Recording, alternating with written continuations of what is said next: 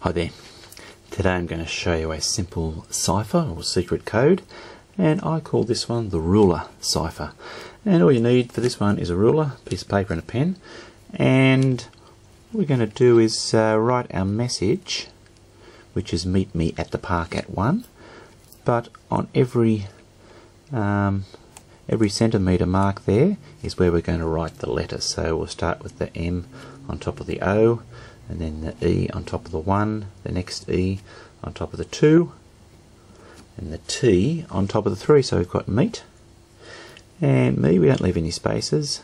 Meet me, 4, 5, 6, 7 for A and T. Meet me at the, yep, and, oops, park,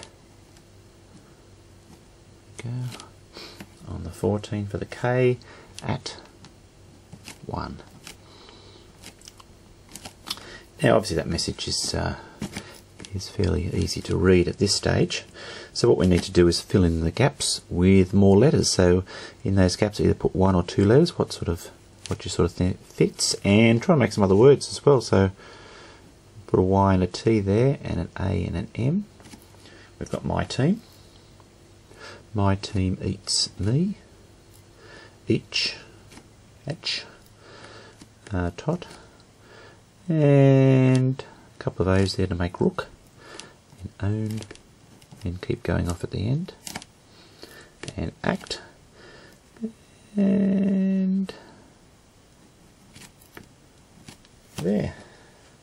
So there we've got uh, sort of a random message with some words and some not words and then obviously your friend knows how to break the code, so he comes along with the message.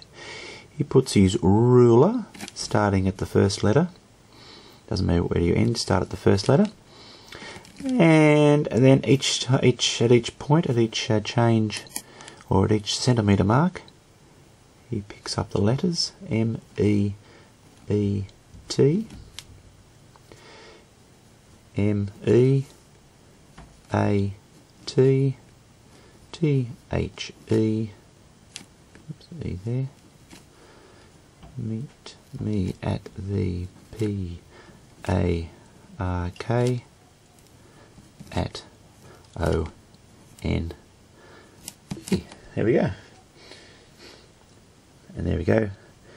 Um, he's quickly deciphered the message. Meet me at the park at one. So there we go. That's a simple, uh, simple cipher that I call the ruler.